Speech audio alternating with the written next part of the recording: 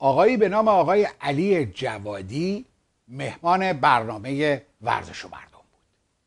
البته غیر از ایشان که روی خط آمدند آقایان مظلومی و درخشان هم بودن منتها من بیشتر جذب یا توجه هم جلب صحبت های آقای جوادی شد به خاطر اینکه ایشون سردبیر شاید پرتیراشترین روزنامه ورزشی ایران هستند.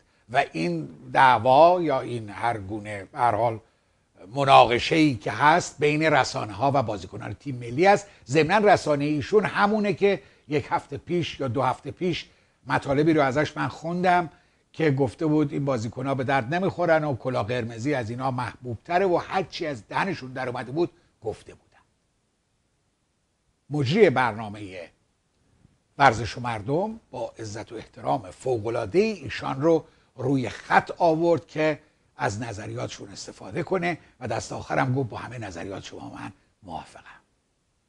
این آقای جوادی که از قرار معلوم با اون آقای جوادی نسبتی هم دارند راجع به تیم ملی ایران و بچه های تیم ملی ایران صحبت هایی رو کردند که اجازه بفرمایید در خدمت شما بشنویم.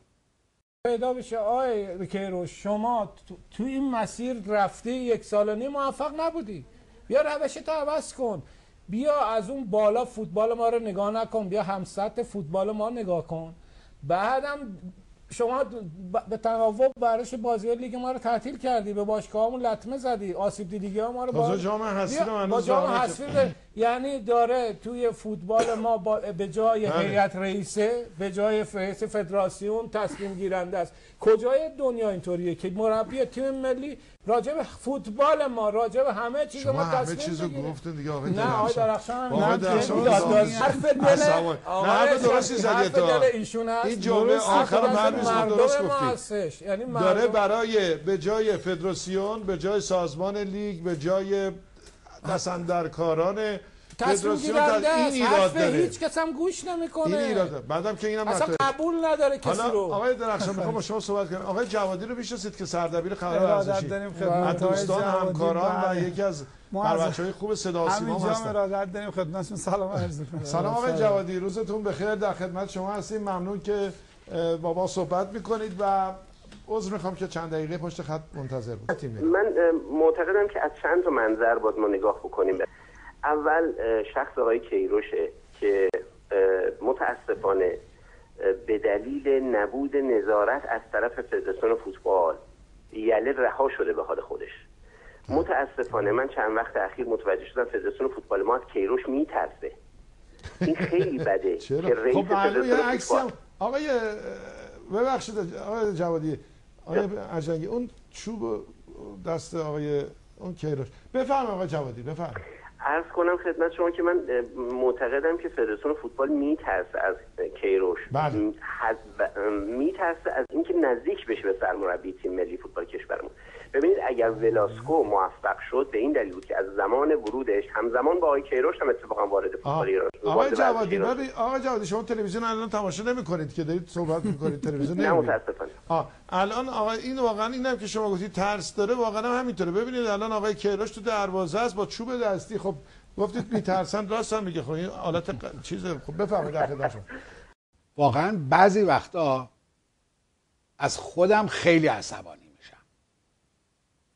که اصلا این آقایون رو چرا ما جدی می‌گیریم؟ شما نگاه کنید. یک بحث فوقالعاده جدی رو که یک سری بچه های تیم ملی فوتبال ایران حالا ناراحتن به حق و ناحقش رو راجبش صحبت خواهم کرد. این آقای مجری وقتی اون جوادی اون یکی جوادی نه اون جوادی می‌گوید که کیروش از فدراسیون فوتبال میترسه؟ میگه ببینید عکسش ببینید چوب دستش ترسم داره. خوشن اینا. پول مفت موقعیت مفت. ناحق.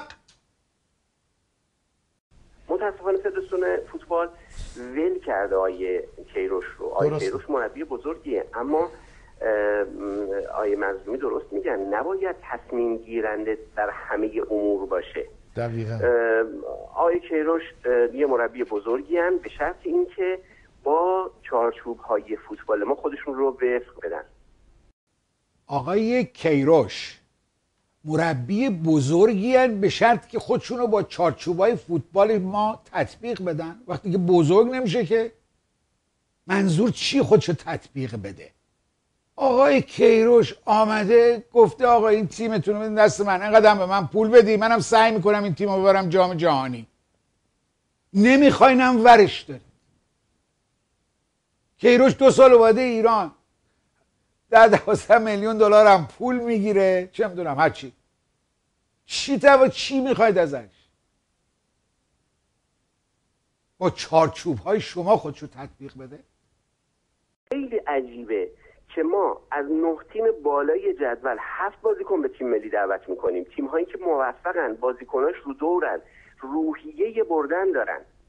اینها رو ما هفت بازیکن ازشون دعوت می‌کنیم. بعد از پرسپولیس و استقلال که بازیکناش بردن رو فراموش کردن. بله. راه موفقیت رو فراموش کردن. آفرین. روحیه بردن در اونها مرده.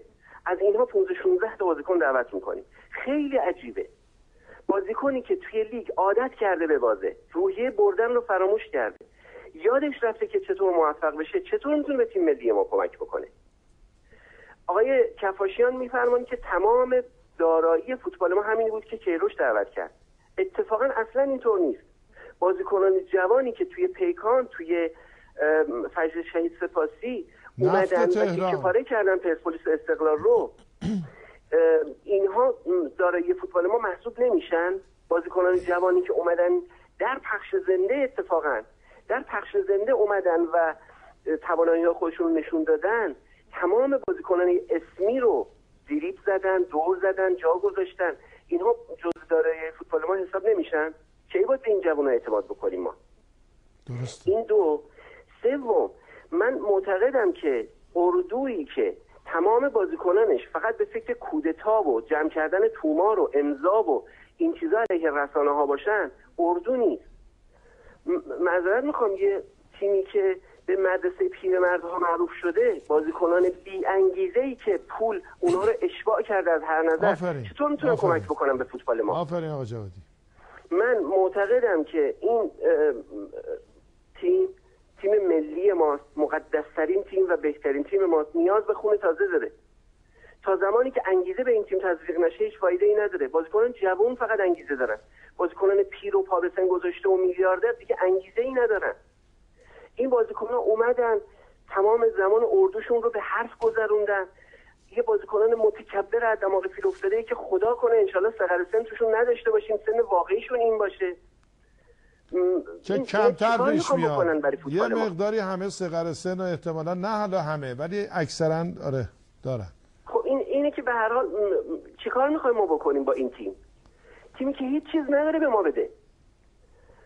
من معتقدم که ما متاسفانه یه. دونه متاسفانه متاسفانه. تیم ملی ما بسته شده در اختیار یک مشت بازیکن اشباع شده پا به سن گذاشته بی انگیزه است. فرمایش شما درست. بسیار ممنونم علی جان. شما. مثل همیشه خوب و قربون. پرتبان صحبت کردید و دست گذاشتید رو نقاط حساس و دقیقا من با جمع کل صحبت های شما موافق هستم. این آقای جوادی من دوست ندارم آدما رو تحقیر کنم یا مثلا درستم این کار نیست. ولی جدا وقت برنامهمو به خاطر ایشان نیست که به مباحث ایشان اختصاص میدم. به خاطر آفرین آفرین گفتن مجری برنامه است یعنی تایید کامل و به خاطر سکوت دو تا پیشکسوتی که اونجا نشستن یعنی آقایان درخشان و مظلومی. و الا من جوابی برای حرفای ایشان نداشتم. من فرضم بر اینه مجری برنامه که مرتب میگه آفرین آفرین. اون دوتا بزرگتر دیگه هم ساکتن و احتمالا این سکوت علامت رضا می‌تواند تلقی بشود. یک سری نکات رو ایشان بهش اشاره کرد. اما نه به اون نکاتی که باید اشاره می‌کرد. می‌گوید که ما عجیب است که از نه تیم بالای جدول هفت نفر فقط انتخاب می‌کنیم از پرسپولیس و استقلال 15 16 نفر. آیا تا حالا شما گفتی که چرا تلویزیون از بازی اون نه تیم بالای جدول هیچی نشون نمیده؟ فقط وقتی که با پرسپولیس و استقلال بازی دارند نشون میده. شما همین الان از آقای مظلومی و آقای درخشان بپرس که از این یازده تا بازیکنی که بازی کردن با توجه به محرومیت آندو و محرومیت آندو مصدومیت جباری و چند نفر دیگه از اینا که حاضر بودن. کدوم بازیکن فجر سپاسی و نمی‌دونم اینا رو می اومد میذاشت تو تیم ملی. اسم ببر. حد اکثر شاید دوتا یا سه تا. فنی هم شما بلد نیستی مسئله رو نگاه بکنی. کدوم گلری رو جای رحمتی می‌خوای بذاری؟ شما کریمی رو داشته باشی نمی‌ذاری تو زمین؟ تو فوتبال ایران؟ چقدر بی جنبه اید روی باخت. یکی از کارهایی که این رسانه ها کردن تحقیر حریفان ما بوده. ببینید شما مثلا در منطقه ما قطر بحرین عربستان اینا حریفای ما. این در منطقه مثلا استرالیا ها نیوزیلند و نمی‌دونم سلمان آیلند و فیجی و اینا حریفاشونن توی رشته هایی که با هم رقابت دارن. هرگز نمیکوبن حریفشون با اینکه استرالیا از همشون بهتره. شما وقتی که میگی عربا وقت طرف می‌کنن عربا هیچی بلد نیستن اینا اونا رو تحقیر نمی‌کنی. در واقع تیم ایران رو تحقیر می‌کنی. اینا حریفای ما هستن. فوتبال به خاطر اینکه در دنیا روش سرمایه گذاری میشه. مهمترین ورزش دنیا هست. اصلا نباید با ورزش های دیگه مقایسش کرد هیچ ورزشی مثل فوتبال در کشورهای مختلف جهان صاحب رشد نشده. برای کشتی تعداد معدودی از کشورها میرن سرمایه گذاری می‌کنن. اونم نه زیاد. در نتیجه رقابت در فوتبال روز به روز سختتر میشه. چون پول توی فوتباله. شهرت توی فوتباله. پخش مستقیم توی فوتباله. و میلیاردها علاقه مند دنبال فوتباله. شما می‌دانید من کشتی رو خیلی دوست دارم. وزن برداری خیلی دارم اما اصلا این ورزش با فوتبال قابل مقایسه نیستن در مقیاس جهانی. یه سری توهین می‌کنه. مدرسه پیرا. بازیکنان پیر میلیاردر بدون انگیزه برای یه ورزشکار. اگر به تیمی اگر به پیراهنی که میپوشه احترام بگذاره. اگر اون پیراهن و پیراهن ملی خودش بدونه.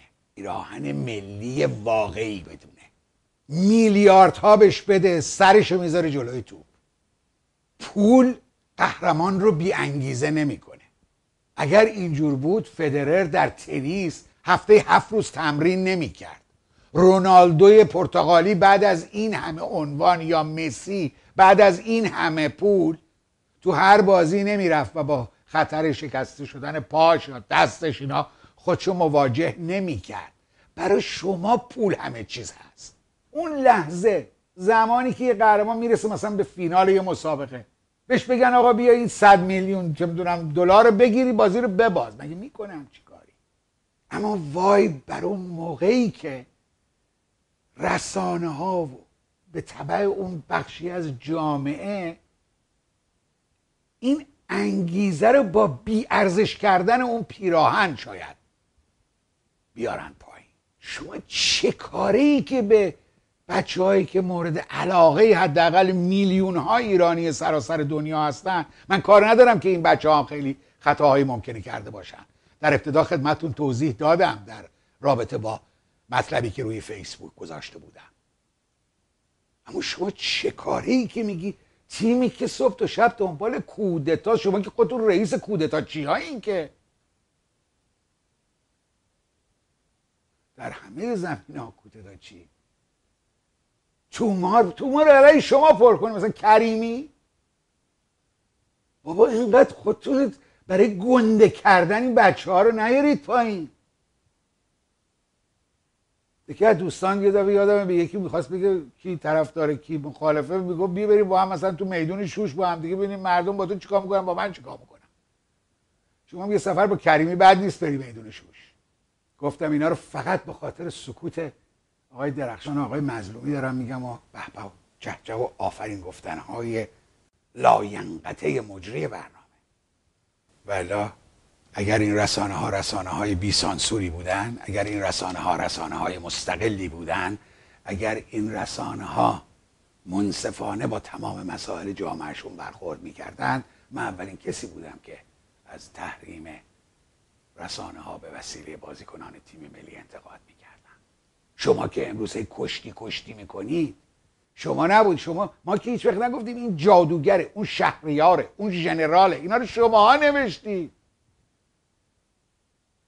حالا دیگه تحویلتون نمی‌گیرن. ناراحت شدید. ایشون با شرایط فوتبال ما هنوز وقف نداده خودشون و آدمایی هم که کنارشن نمی‌تونن کمکش کنن. این بازی قابل پیش بینی بود. من به عنوان یه نفر که واقعا تو فوتبال مملکتمون هستیم خاکش خوردیم می‌دونیم فرهنگ فوتبالمون به چه شکله. آقای کیروش یا هنوز به فوت... فرهنگ فوتبال ما خودشو وقف نداده؟ فوتبال ما رو از بالا نگاه می‌کنه. نمیاد در سطح فوتبال ما فوتبال ما رو نگاه کنه. در از بالا فکر می‌کنه اینجا اروپاست. کیروش فکر کنه اینجا اروپاست. نمی‌دونه اینجا همیشه خر تو خره. نمی‌دونه اگه خر تو خر نبود با سر کار نبودیم باید خودشو به قول ایشون وقف بده. اصلا این دوستان یه جورایی دست به دست هم دادن. شخصیت فوتبال ما رو دارن از بین می‌برن. به نکته ها توجه بفرمایید. یه آقای دیگه ای ایشون آورده بود. آقای خلیفه. مال خبرگزاری فارس که مورد اعتماد همه دنیاست. آقای شاید مسائل فنی خوب بشناسه اما یک مشکل اساسی در شرایط فعلی داره. اون اونم اینه که به لحاظ جامعه شناختی و فرهنگی هنوز بسترهای کشور ما رو نشناخته. ما بحث انگیزی در میان ملی پوشامون خیلی کمه. این بحث انگیزی از به نظر من از بین ملی پوشامون رفت البته درسته. بسیار مهم دیگه تموم شد. بعد از اون شکست هایی که ما احساس شرمندگی رو ببینیم در چهرهای بازیکن من دیروز با آقای کیروش صحبت می‌کردم. خیلی خوب داشت از بازیکناش دفاع می‌کرد. اما تو صحبت متوجه شدم که این بنده خدا ولاد جامعه شناخته نشناخته این بسترهای فوتبال رو. بسیار ممنونم آقای خلیفه از صحبتاتون. استفاده کردیم. برات آرزوی موفقیت دارم و انشالله که بتوانیم همچنان در سایت فارس فعال و پر انرژی و آقای درخشان هم اشاره کردن. خون تازه در های تیم ملی است ولی در رسانه های گروهی این خون تازه بسیار خوب بسیار خوب در جریان هست و های شایسته مثل علی خلیفه و سایر دوستان موفق دارن عمل می‌کنم ممنونم آقای خلیفه. خواهش می‌کنم. آقای شفیع ما که از ملی پوشان تحریمیم. نه آقا چی تحریمیم؟ شما تحریم اما مطمئن باشید ما همچنان رسانه ها یار دوازدهم تیم ملی در آستانه بازی حساس اون مقابل کره جنوبی هستن. مثل گذشته. ما از تحریم نمیترسیم نگران نباشید. کار خودمون خودمون انجام میدیم. به لطف و هم... آقای خلیفه شما رو نمی‌دونم فامیل کی هستی ولی کیروش که هیچی. هیچکی نفهمید. از لحاظ جامعه شناختی شما رو نفهمیدی. مدرنی مسلمونی حزب اللهی هیچکی شما رو نشناخت. هشت.